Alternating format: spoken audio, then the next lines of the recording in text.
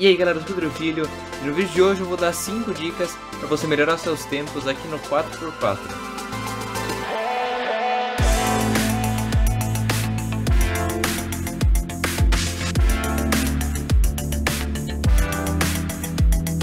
E antes de começar eu queria avisar que meus tempos no 4x4 não são aquelas coisas, eu fico por volta de 1 minuto e 40, 1 minuto e 50, então eu não vou dar dicas avançadas, eu vou dar dica mais para quem está começando mesmo, e quer melhorar seus tempos. Então já vou começar, mas antes não esqueça de se inscrever aqui no canal e ativar o sininho. Assim toda vez que eu postar um vídeo você vai ser notificado e não vai perder nada aqui do canal. E agora vamos para uma coisa que muita gente deixa de lado quando está começando, mas que é muito importante principalmente no começo, que é reconhecimento. Quando você está começando, você não se importa muito em reconhecimento e só quer fazer o mais rápido possível, achando que isso vai deixar sua mais rápida. Mas na verdade você acaba ficando muito desesperado na hora da solve e isso deixa a solve bem mais lenta do que ela poderia ser. Então quando você for fazer solve de 4x4, tenta fazer um pouco mais devagar, um pouco mais de calma, prestando muito mais atenção na posição das peças enquanto você mexe o cubo. Isso meio que já se encaixa na dica 2, que é Look Ahead. Você já vai montar uma parte do cubo pensando em como que você vai montar a outra parte. Então você está montando esse par aqui mas já está pensando como é que você vai montar esse par. Você está montando esse par, mas está pensando como é que você vai montar esse par. E juntando essas duas dicas do reconhecimento com o look ahead, você vai ficar muito melhor. Eu já fiz um vídeo completo sobre o look ahead, sobre o 3x3, mas basicamente tudo que eu falo lá serve para 4x4 também. Então, se você quiser ver um vídeo bem mais aprofundado sobre esse assunto, clica aqui no card. Uma outra coisa que muita gente deixa de lado porque acham que é igual a outros cubos, que é aprender método avançado.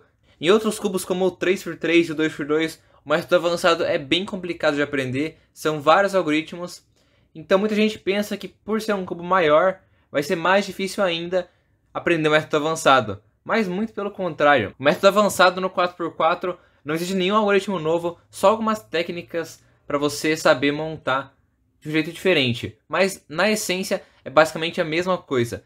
Você vai montar o centro branco e o amarelo três meios, os outros centros e os outros meios. Então, basicamente, você vai fazer a mesma coisa, só que numa ordem diferente. E só uma coisa que eu esqueci de falar no vídeo, o método avançado que eu tô falando aqui é o IAL. E se você quiser ver o tutorial desse método, é só clicar no vídeo aqui nos cards.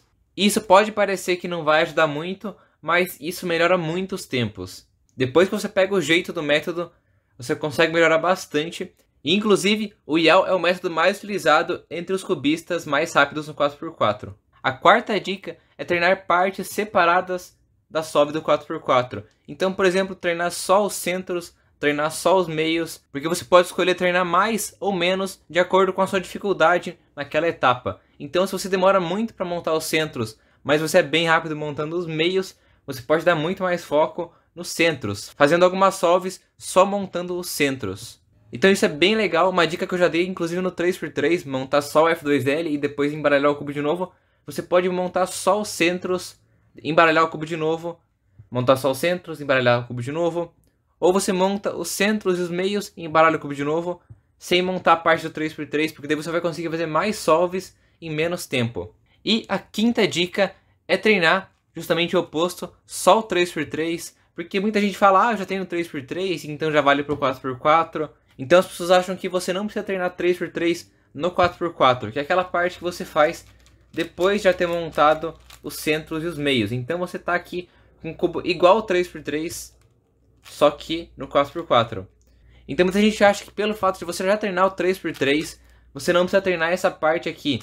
Mas é muito importante que você treine essa parte aqui também, porque o cubo é diferente, ele é maior, ele fica de um jeito diferente na sua mão. Então você vai acabar se adaptando e criando novas técnicas para resolver ele. Então você não vai resolver do mesmo jeito que você resolve o 3x3. E por isso que é bem importante você treinar resolver o 3x3 aqui no 4x4 também. Mas então essas foram as minhas 5 dicas para vocês que estão começando no 4x4 conseguirem melhorar seus tempos. Então se você gostou desse vídeo, não esqueça de deixar o seu gostei. Eu vou ficando por aqui e tchau.